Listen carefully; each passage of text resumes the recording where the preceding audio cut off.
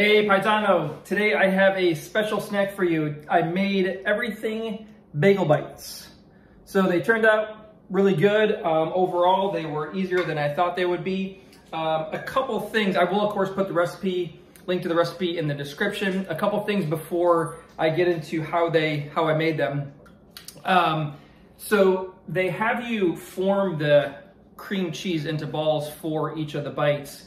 And so obviously you want to buy just kind of like the regular cream cheese. You don't want to get the whipped cream cheese. It's not going to work. Also, when you are forming them into the balls, um, having your hands wet helps to keep the cream cheese from sticking. Um, and then the recipe also calls for the cream cheese balls to be frozen. So you want to give yourself some adequate time. I ended up freezing them last night, so they, they were ready for me uh, today, and that worked out pretty well. So as far as how I made these um, and how the recipe called, um, so after you get the, the dough made and it has had time to rise, you take a piece of it, small piece of it, and you actually flatten it out a little bit. You're basically going to make a pocket for the cream cheese to uh, be in. And so you put the cream cheese in, you roll it into a ball, and then you repeat that for each of the, the 10 bites that the recipe makes.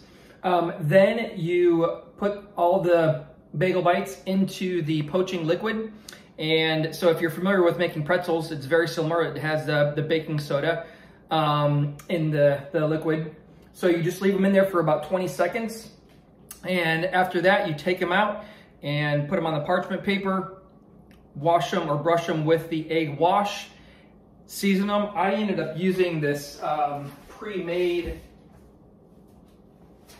everything bagel um, seasoning mixture, which worked out really, really well.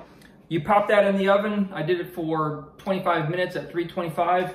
And again, they turned out really, really well. They were, they're larger than I expected them to be. Um, so uh, a little bit more than a light snack, but really good. Um, encourage you to give them a, a, try.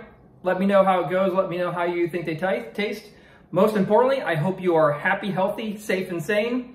Till we meet again, manja, Mande K-Crash. Tchau!